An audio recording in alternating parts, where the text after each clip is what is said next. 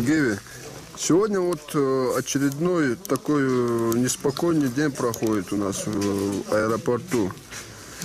Как можете прокомментировать сегодняшний вот, э, день, обстановку нашу? Вот. Какие у нас успехи?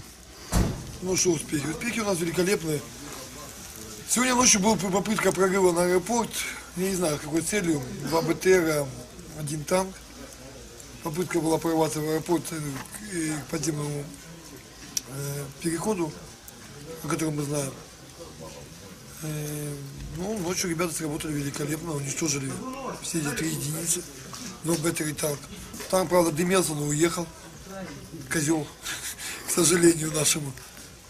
Ну, а так, ну, артиллерийские обстрелы будут продолжаться, тем более территория не ихняя.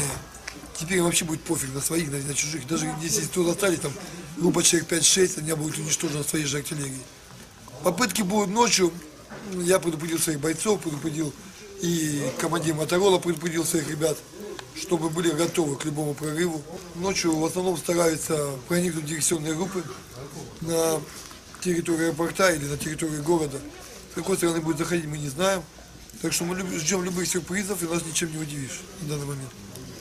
Я думаю, будет так всегда, потому что что подразделение Сомали, что подразделение Моторола, Спарта готовы к любому, к любой атаке, к любому прорыву со стороны украинской армии.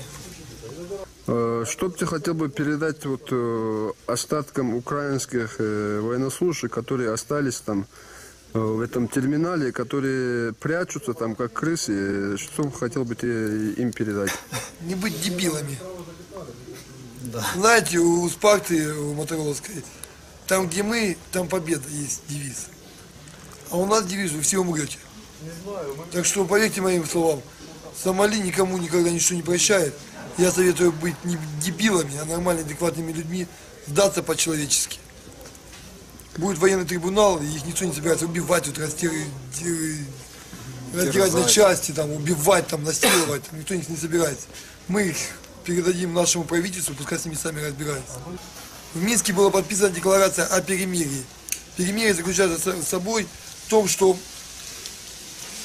не передвижение, ничего не должно происходить.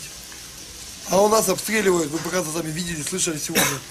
Вылетело на поселок, уничтожили очередной дом. Очередные люди остались без жилья, которые вернутся сюда, к сожалению.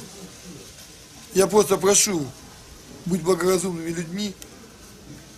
Эти украинские, я не знаю, батальон, там, остатки батальона, или армейцы, или кто там, или наемники, или кто там, гвардейцы эти. Просто сдаться, и ничего не будет. Они останутся живы. Никто их не расстреляет, никто их не убьет. Мы передадим в наше правительство, наш военный трибунал. Пускай с ними сами разбираются.